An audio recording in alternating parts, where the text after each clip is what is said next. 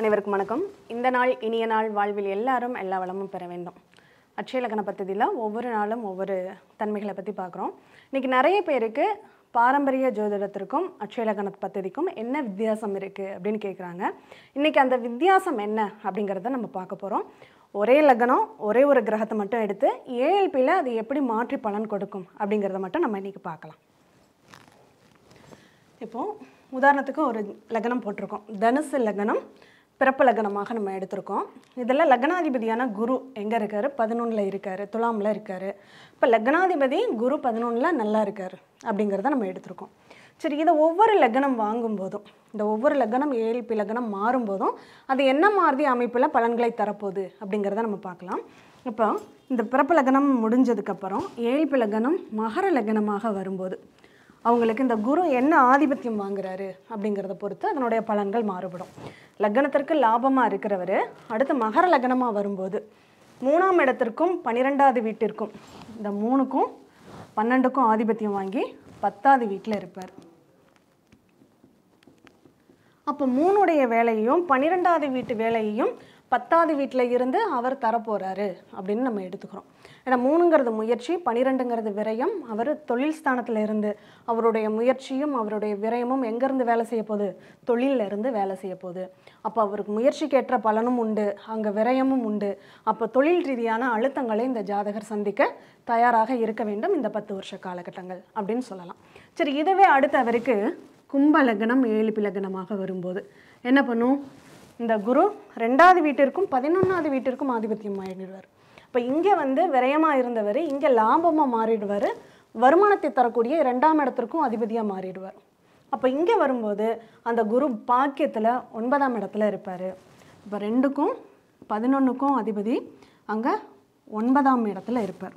அப்போ இங்கே என்ன பண்ணும்? அவருக்கு தன லாபங்களை பாக்கியமாக இருந்து கொடுக்கும் அப்படின்னு சொல்லலாம்.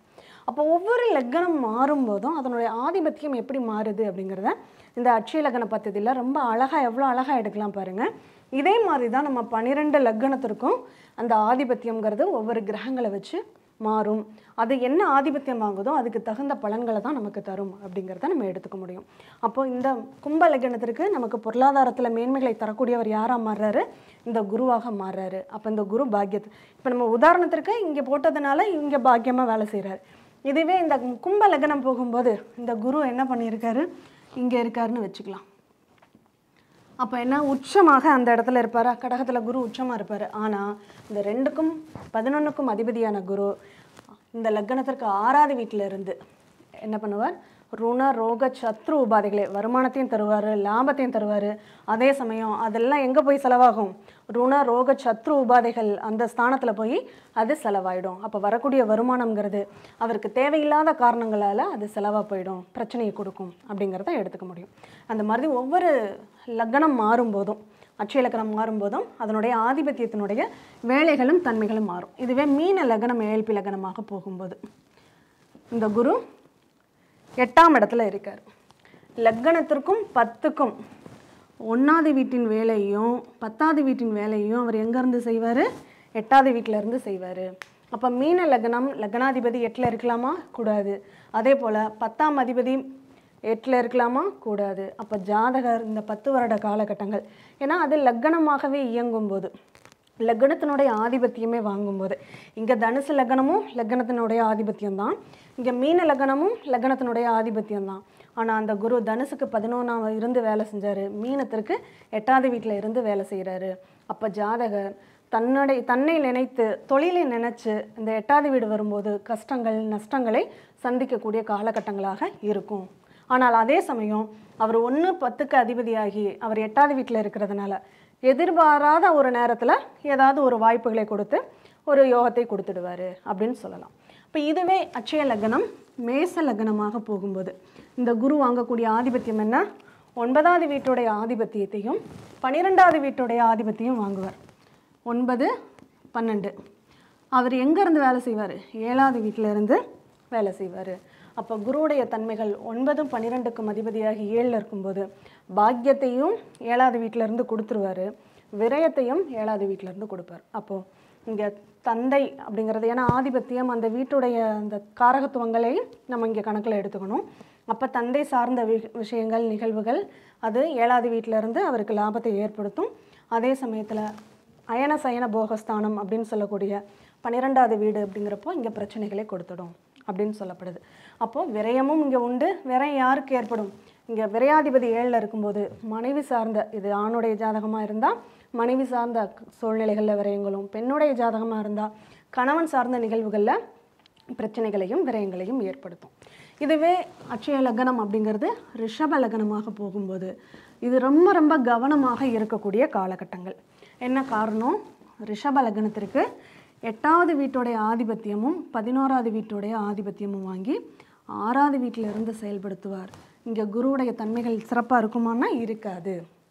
என்ன காரணம்? லக்னத்திற்கு எட்டாவது வீட்டுடைய ஆதிபத்தியம். அஷ்டமாதிபதி குரு ஆறாம் இடத்துல இருந்து அவருக்கு பிரச்சனைகளை தரக்கூடிய காலமாக இருக்கும் அப்படின்னு சொல்லலாம். அவரே பதினோராவது வீட்டுக்கும் அதிபதி ஆகிறாரு ஆனால் லாபம் தருவாரா அப்படின்னா அவர் இருக்கக்கூடிய இடம் ஏழ்பைக்கு ஆறாவது வீடு ருணரோக சத்துருகளை சந்திக்கக்கூடிய ஒரு சூழ்நிலையில் இருக்கிறதுனால அவர் பிரச்சனைகளை தான் அதிகமாக கொடுப்பாரு அப்படின்னு சொல்லலாம். சரி இதுவே லக்னம் மிதுன லக்னம் அட்சய லக்னமாக போகும்போது அங்கே குரு எங்கே இருப்பார்? அஞ்சாவது வீட்டில் இருப்பார். ஏழாவது வீட்டிற்கும் பத்தாவது வீட்டிற்கும் உள்ள வேலையை அஞ்சாவது வீட்டிலேருந்து செய்வார். அப்போ இங்கே ஜாதகருக்கு மிதன லக்னத்திற்கு ஏழுக்கு ஆதிபத்தியம் குரு பத்தாவது வீட்டிற்கும் ஆதிபத்தியம் குரு அவர் அஞ்சாவது வீட்டிலேருந்து செய்கிறாரு அப்போ அவருடைய எண்ணங்கள் செயல்கள் சிந்தனைகள் எல்லாமே கூட்டு தொழில் செய்யலாமா?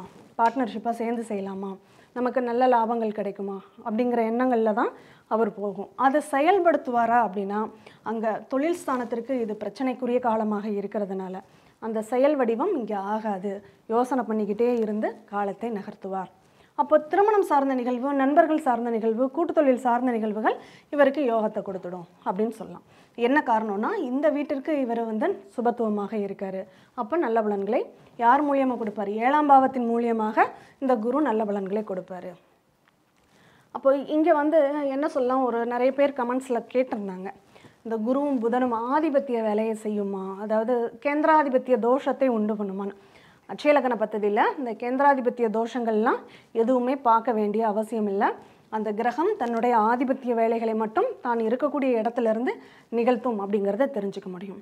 இதே மாதிரி தான் ஒவ்வொரு லக்னத்திற்கும் நம்ம ஒவ்வொரு கிரகங்களும் என்ன மாதிரியான பலன்களை தரப்போகுது அப்படிங்கிறத நம்ம பார்க்க போகிறோம் மீண்டும் இனியதொரு நிகழ்வில் சந்திக்கும் வரை சாந்தி தேவி ராஜேஷ்குமார் ஏஎல்பி அஸ்ட்ராலஜர் நன்றி வணக்கம்.